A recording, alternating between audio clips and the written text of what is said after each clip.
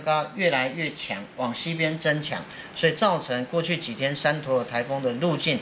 不断的从东边一直往西边在做修正。强台之姿，再加上龟速移动，甚至几乎可以说是原地打转，让它继续吸饱水汽，所带的风雨当然就更强劲。尤其秋天到来，影响台风的因素又很多，提升了这次预报的困难度。这个高空的潮线系统，所以它整个环境的这个导引啊，导引是往东北的方向拉。所以呢，大概在十月二号到三号，这个山陀台风的速度它才会明显的加速离开，特别是在十月三号之后的原因，就跟啊北边这个潮线系统它由西往东移入，刚好两个低压系统就把它。啊，把这个山陀台风呢顺利的啊，把它啊拉走。解析山陀路径，到了九月三十号，可以发现东西两侧都有高压笼罩，导致山陀儿没有导引气流牵引，才会几乎都没有移动。接着从十月一号开始，两边高压逐渐让开，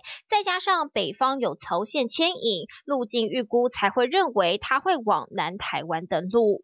太平洋高压的这个导引的强度其实是比较偏弱的哦，因为高压如果导引比较强，它的速度还有它的方向会比较坚决，就可能就稳定朝一个方向在移动。那秋季因为就是除了高压稍微比较弱一点点，太平洋高压比较弱，那另外我们还要关注的是在北方的这个潮线系统，所以有两个因素要考虑，就造成我们在秋这这是在这个九月的中下旬之后啊，台风的这个路径。预报我们要考虑的因素会更多，尤其这一次为何高度警戒？因为山图儿从高频登陆几率高，罕见的走法确实查不到过往记录，所以说这一次的路径真的是在挑战历史。这个案例呢是算是几这几年来非常少见的。那如果在以台强烈台风的等级来看的话，我们查过资料是呃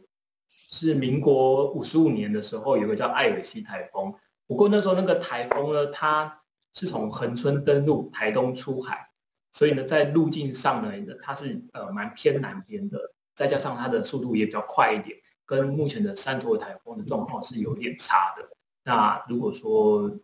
要拿来类比，可能也不太适合，所以我们才会说，就是山陀台风这样的情境呢。可以可以说是前无古人这样。虽然气象署认为路径从南部登陆后，接着东部出海往北远离，但是气象署认为走势存在许多变数。如果说台风它比较弱的时候，就是像呃，它在靠近过程中不断的减弱，不断的减弱到登陆之后，那它可能只剩下一个中度台风而已，那它可能就比较难翻越中央山脉。那这时候它就会沿着。呃，西部的平原北上，路径还得观察，但确定的是，风雨不容小觑，降雨也是有分阶段。花莲、台东、屏东，早在台风还在缓慢移动时，就因为不断吹东南风，持续带入强劲水汽。而台南、高雄等南部地区，预估周三晚上中心通过，要严防致灾性降雨。这时，花东强降雨也会持续。至于北部宜兰等台风登陆之后，雨势会开始增强，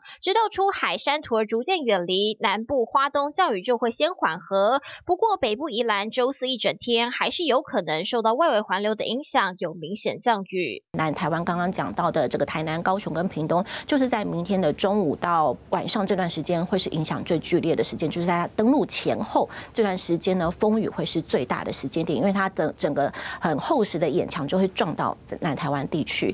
少见的强大台风直攻南部陆地，预估南部、东南部等到台风核心非常接近要登陆时，风雨会瞬间有感。TVB 新闻徐坤山、周友轩台北报道。